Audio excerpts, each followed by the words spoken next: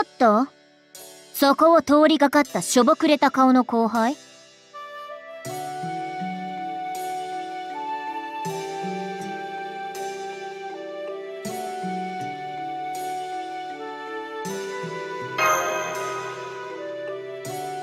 そのように警戒するでない。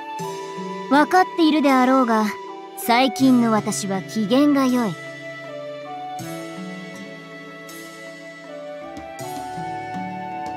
たまにこの姿になって夏の幸福な思い出を反芻してしまうくらいにはね。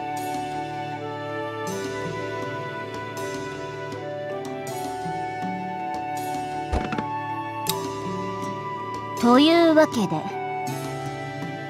余裕ある私はこの今日というイベントにも圧倒的上から目線で参加できるというわけ。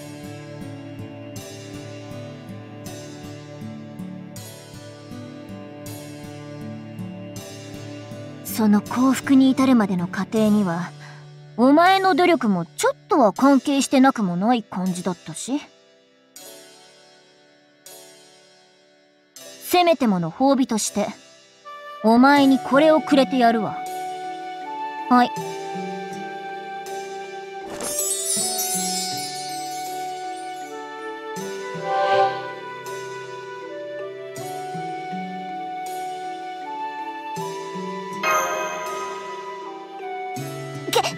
結構、稀に適切なこと言うじゃない、後輩。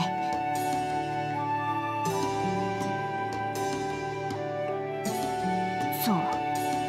これは今私が全身で感じている幸福を形にしたもの。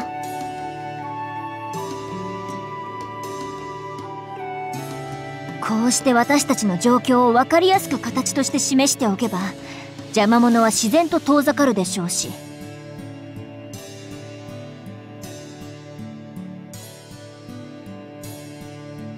それがチョコならついでにお前への義理も果たせるって寸法よ。一挙両得っていうやつ？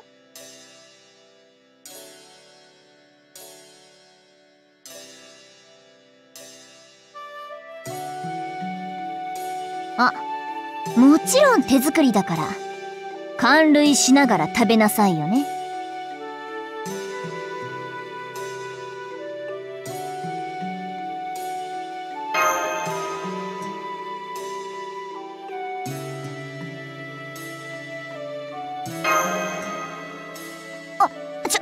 待ちなさい。信じられない。私のところからかじろうとするなんて。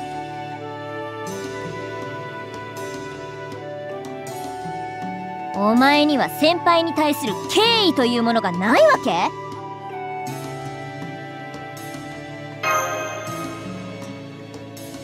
まず最初に皇后様のお体をかじるなんてどういう了見？そんなの許されるわけないでしょ？というか食べる際に一番大切な絶対の禁止事項を思い出したわ。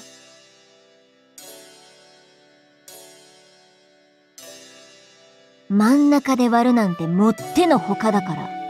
これは死んでも厳守しなさい。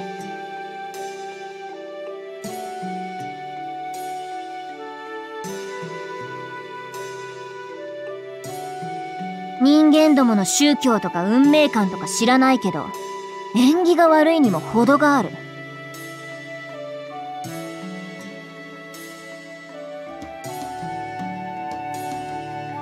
じゃあどうやって食べればいいのかって？そうね。丸飲みでいいでしょ。無理？試してみてから言いなさい。ほら。ああ。なんて優しいのかしら私。幸せすぎて丸くなっちゃったのかもね。ただの義理チョコにこんなサービスなんて。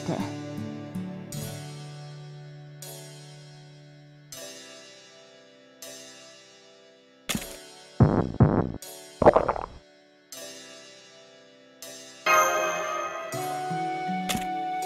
ん？それならいいでしょう。私たちの平穏を守るために涙を流して努力するその方向性。これからも忘れないように。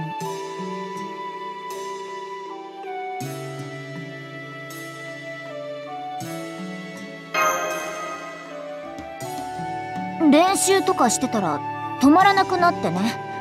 いろいろパターン違いも作ってみたかったし。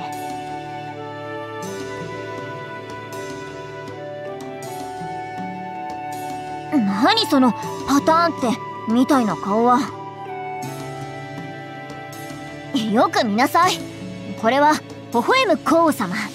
こっちは敵を睨みつける最高にかっこいい皇后様。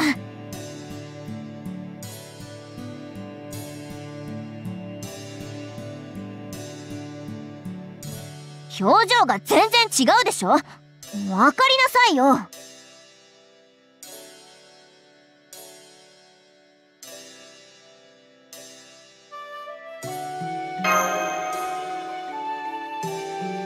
ったく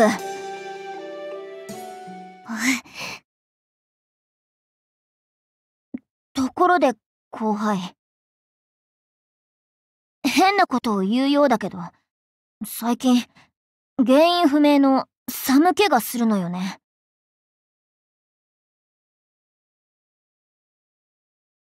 そのチョコを作ってから。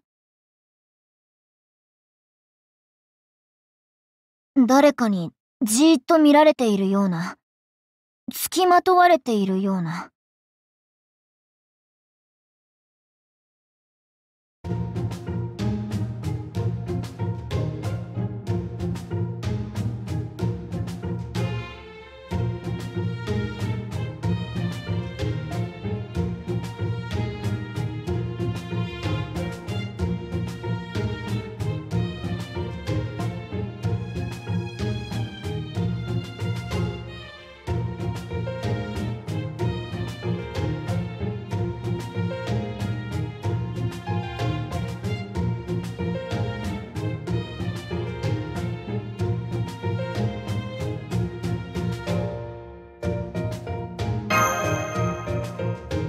私は呪う方で呪われる方じゃないんだけど。なんか今だけはお前の目に真実味を感じるわね。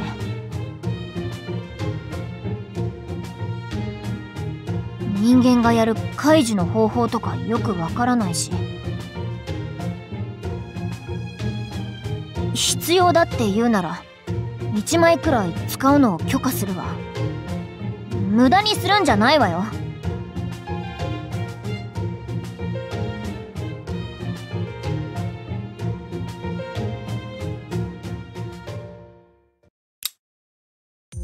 それじゃあね。ああ。一応言っておくわ。言うまでもないことだけど。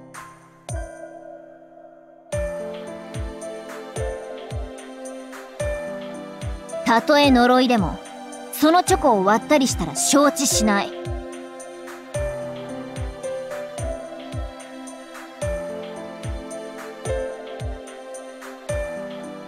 死んでも丸飲みしなさいってお札にでも書いて伝えときなさい。